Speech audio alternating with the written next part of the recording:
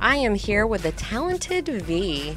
V for Venture. She is one of the entertainers for this evening's fashion show. Tell us a little bit about what you're going to be performing for us. So tonight I will be performing a unreleased single. It's called Shadows. Um, it's one of my favorite songs and I will actually be performing with some really big, awesome black wings to represent, you know, the Brave Wings fashion show. And so I'm super excited to walk the runway with all the models and, you know, get to show my song and also a video. I'm really excited about that. How long have you been performing?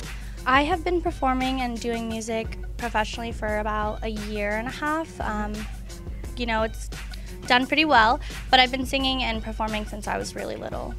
That's exciting. I, am so glad to see the show bringing in talented um, local artists, right? Yeah, definitely. I'm from Portland, but I've been in Arizona for also two years, and um, I'm really proud to be. I call, you know, I say I'm from here because I love Arizona, and I love, you know, that everyone's really involved in music and art, and you know, they really have a really good art culture. How can people learn more about you and find out when your single gets released? Definitely. Um, you can find all my stuff um, on social media at I Am Venture. And then I also have a website that's on there along with music and iTunes and everything that you might want to check out. Well, I am so excited to have talked to you, V, and I love that V.